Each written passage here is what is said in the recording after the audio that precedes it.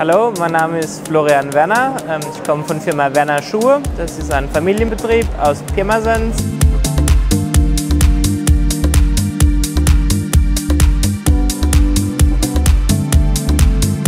Seit einigen Jahren haben wir uns auch auf die Herstellung von ökologischer Schuhmode spezialisiert.